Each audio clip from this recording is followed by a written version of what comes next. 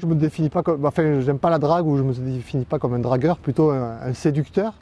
Et euh, j'essaie effectivement des fois de, manier euh, le verbe ou en tout cas l'écrit pour pouvoir euh, échanger avec, avec ma douce aimée, effectivement.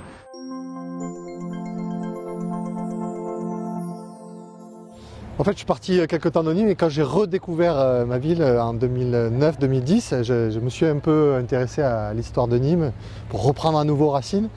Et, euh, j'ai découvert qu'il y avait, euh, qu'étaient nés ici euh, les fameux poèmes Alou et qu'il y avait une histoire d'amour qui, était, qui avait donné l'inspiration à un poète, donc Guillaume Apollinaire, d'écrire ces fameux poèmes Alou qui a donné sans doute un des plus beaux poèmes de la littérature euh, française. Ça s'est passé ici. Je me souviens qu'il y avait une façade, il y avait encore écrit l'Hôtel du Midi sur la façade qui a été euh, désormais euh, rénovée. Il y a la plaque, effectivement, qui a été posée à l'occasion du centième anniversaire de, cette œuvre qui est, magnifique. Et puis oui, c'est l'histoire, c'est l'histoire d'un amour contrarié parce que finalement ils, ont vécu une relation épistolaire de huit jours. On parle d'une, euh, voilà, il serait enfermé 2-3 jours dans, une chambre d'hôtel. Et donc on retrouve ces traces d'une relation à la fois érotique, sentimentale, très forte, avec une passion.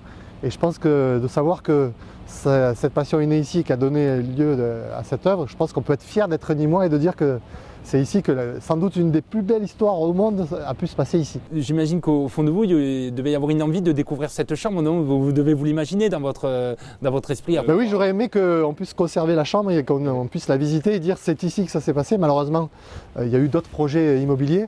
Euh, ce qui est cocasse aujourd'hui, c'est que Olivier Jalaguet, qui est euh, candidat engagé aux élections municipales, a ses bureaux, son agence de communication, qui, qui occupe l'espace qui occupait les, les chambres de, de l'hôtel de midi à l'époque. Vous, ça vous correspond aussi? Vous vous considérez comme un, un romantique un peu? Ça, ça, ça, vous a aidé? Vous écrivez des poèmes aussi? Non, non, non, j'écris pas du tout des poèmes, je suis pas très doué par rapport à ça, mais par contre j'ai une sensibilité, oui.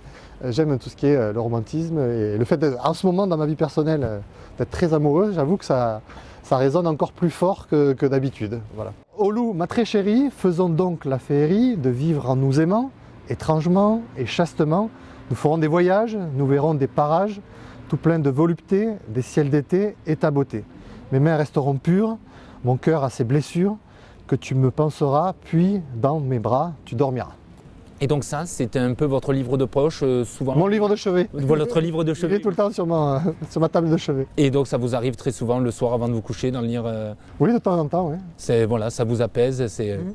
Oui, oui, c'est vraiment, euh, surtout, je vous le disais en ce moment, c'est euh, un moment d'inspiration pour moi euh, que de me plonger dans, dans ces écrits, et surtout de, de partir et de m'imaginer, de m'évader en quelque sorte au travers de cette histoire complètement incroyable. En plus, vous pouvez lire quelques vers à votre, à votre compagne. Exactement, c est, c est, je l'ai fait. c'est bien la poésie qu'on peut lire à haute. C'est ça, tout à fait.